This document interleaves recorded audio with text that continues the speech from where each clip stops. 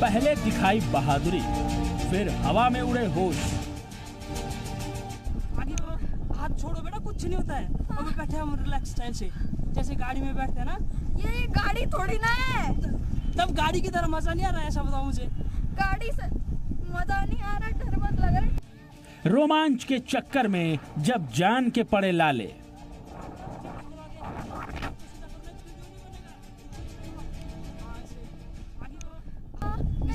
और कौन कौन है नीचे? पापा भी है। नहीं सिर्फ़ कज़न है मेरे वो तो है और डराएँगे रात को मेरे नहीं डराएँगे मैं उनको मना करूँगा ठीक है?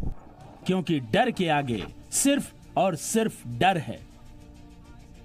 मुझे लैंड होना है बस भाई मेरे।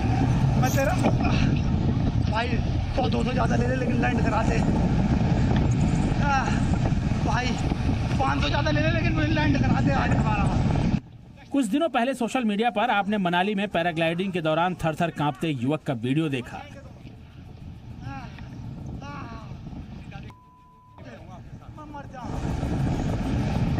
लेकिन अब हु वैसा ही पैराग्लाइडिंग का चाइल्ड वर्जन आपकी आँखों के सामने है, जिसे देखकर आप अपनी हँसी नहीं रोक पाएँगे। नीचे आ गए वो ठीक है? सीधा ग्रीन वाले पे ले जाओ उधर हाँ बिल्कुल नहीं। बिल्कुल बिल्कुल बिल्कुल। बिल्कुल नहीं। ज़मीन से करीब 2000 फीट की ऊंचाई पर एक छोटा बच्चा एडवेंचर लिए पैराग्लाइडिंग करते हवा में पहुँच तो गया। लेकिन किस तरह उसकी हालत पतली हो रही है वो इस वीडियो में साफ़ दिखाई दे रहा है।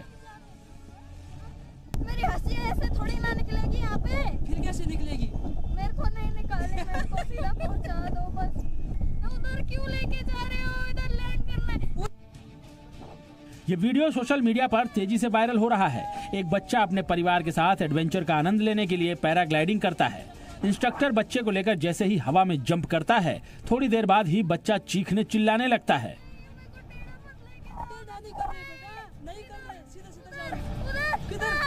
देखिए, ये बच्चा थोड़ा सहमा हुआ है, डरा हुआ है, लेकिन वो इस रोमांच को अपने मोबाइल में कैद भी करता नज़र आ रहा है। इंस्ट्रक्टर कभी हंसने के लिए कहता है तो कभी नीचे देखने के लिए। लेकिन बच्चा बार बार सिर्फ़ इंस्ट्रक्टर से ज़मीन पर लैंड कराने को कह रहा है। है। है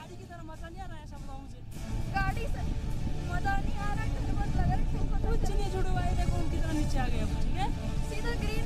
है इस बच्चे की भी हालत बिल्कुल वैसी ही है जैसे पैराग्लाइडिंग के दौरान विपिन साहू की थी।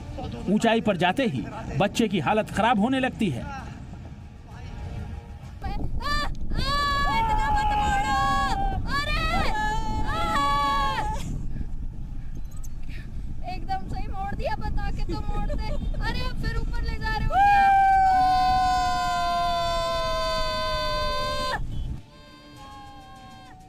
वीडियो को देखने के बाद हमें पता चला कि इस बच्चे का नाम शुभम है। हालाँकि ये वीडियो कब का है और किस जगह बनाया गया है, ये अब तक साफ़ नहीं हो पाया है।